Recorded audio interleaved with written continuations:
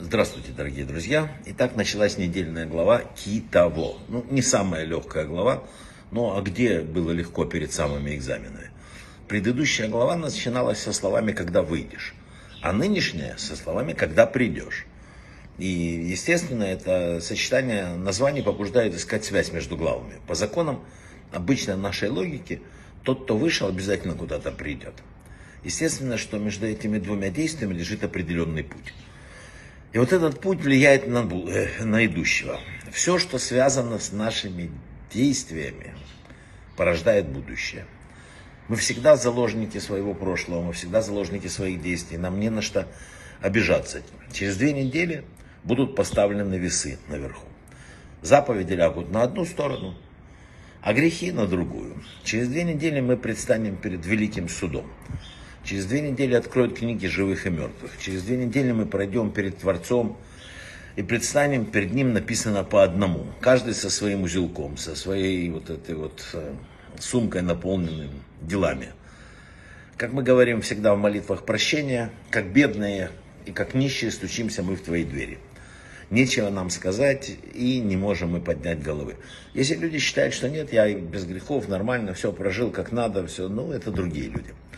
Слова и слушать его голос означают, что на нас лежит обязанность держать уши, глаза открытыми, с тем, чтобы пытаться уловить послание Творца. Он нам отправляет послание каждый день. Раф Салантер как-то проходил мимо лавки сапожника поздней ночью и заметил, что сапожник при тусклом свете работает и чинит очередную пару обуви. И Раф Салантер спросил, уже так поздно, почему ты еще работаешь? Сапожник говорит, пока горит свеча, можно еще что-то исправить.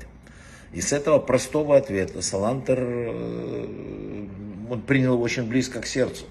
Он понял, что это верно и про человека. Пока его свеча горит, то есть душа находится в теле, и человек жив, он может исправить еще самого себя. В Талмуде есть известнейшая история про Раби Акиву. Раби Акива был неграмотным до 40 лет.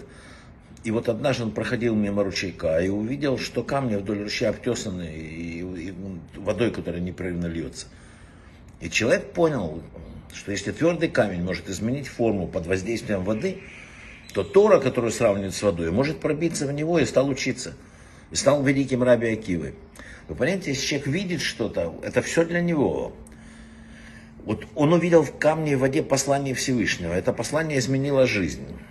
Балшемтов учит, что любое услышанное слово, каким бы случайным и бессмысленным оно ни казалось, предназначено именно для твоих ушей. Все, что вокруг происходит, происходит для тебя, в твоем кусочке мира. Сейчас самое время подвести итоги, проанализировать все, что происходило. Не существует ошибок. Сказали наши мудрецы, только уроки. Неудачи это неотъемлемая часть будущего успеха. В это надо поверить, но надо проанализировать то, что было. Потому что сейчас время подведения итогов. Сейчас время действия. Многие хотят просто чудо. Вот правда хотим чудо и все. И такое, кстати, бывает. А, есть даже каббалистический древний рецепт, как привлечь в жизнь чудо, гарантированный. Есть написано, если хотите чудо, 72 раза поблагодарите Всевышнего за 72 разные э, хорошие вещи, которые происходят в твоей жизни. И тогда будет чудо. Проверьте. Но вернее, не полагаясь на любые чудеса, просто просмотреть прошедший год. Что не так сделано, что можно еще исправить. Пока горит свеча, надо вспомнить слово мудрецов, что большинство трагедий в нашей жизни являются следствиями нашего поведения, слепоты и неосторожности в пользовании словом. И это надо исправлять. Сейчас время действия, а времени мало.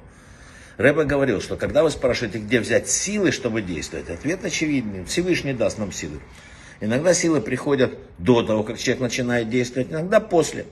Если человек даже устал, Всевышний видит его усилия и даст ему силы. Надо быстрее приступать к лечению души. В лечении болезни тела существует два пути. Лечить травмированный, больной или ослабленный орган.